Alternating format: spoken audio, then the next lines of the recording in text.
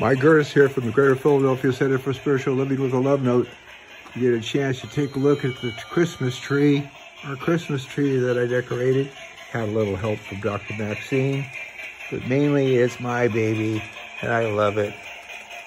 Anyway, I don't know how you celebrate Christmas, but one of the privileges I get every year that we celebrate Christmas is I get to put up the tree and do the decorating. I know that we all have special ceremonies or rituals or things that we like to do during the holidays.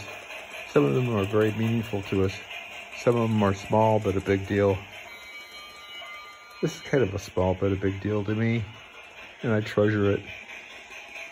I think it's important that we treasure the small deals and the big deals and all the deals.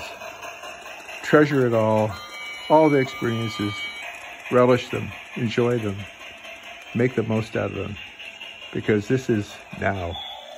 This is the time to enjoy. I hope you have a happy holiday, and so it is.